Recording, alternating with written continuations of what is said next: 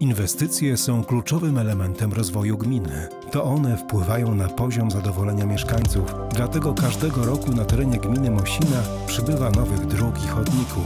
Pojawia się nowe oświetlenie, rozwija się budownictwo mieszkaniowe. W ramach funduszy zewnętrznych budowane są świetlice wiejskie, place zabaw, boiska trawiaste oraz rozbudowywane są szkoły, a w najbliższym czasie powstanie także hala widowiskowo-sportowa i pływalnia. Gmina Mosina. Tutaj warto zamieszkać.